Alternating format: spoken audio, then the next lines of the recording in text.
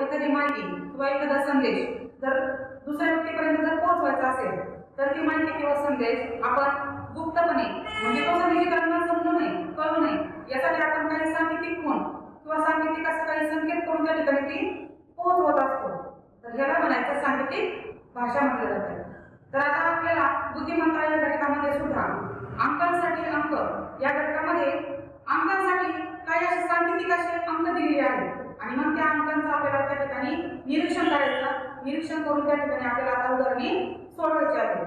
तर आता आपण अंकांसाठी अंक हा घटक बघतो.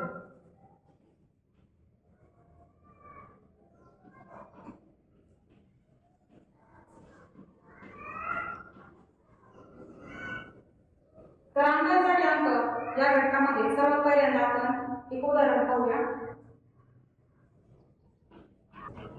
तर आता विद्यार्थी मित्रांनो आपण जर सातशे पस्तीस ही संख्या सांकेतिक भाषेत पाचशे सदोतीस अशी लिहिला लिहिली तर दोनशे चौऱ्याण्णव ही संख्या सांकेतिक भाषेत कशी लिहाल सर्वात पहिल्यांदा आपल्याला काय करायचंय? की या संपूर्ण उदाहरणाचं काय करायचं? आपल्याला निरीक्षण करायचंय.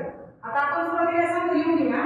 सातशे पस्तीस. आणि या ठिकाणी काय आहे पाचशे सदतीस आता सगळे पण आपल्याला काय सारखेपणा या ठिकाणी आपल्याला दिसतोय आता या ठिकाणी ही पाच जी संख्या आहे ती या ठिकाणी त्यानंतर या ठिकाणी लिहू आणि साथी या ठिकाणी लिहू मग या ठिकाणी काय केलेलं फक्त? या संख्यांचा क्रम त्या ठिकाणी बदललेला आहे.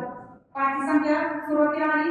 सातही संख्या शेवटी गेली. आणि तीन संख्या आहे त्या ठिकाणी राहिली. तशा प्रकारे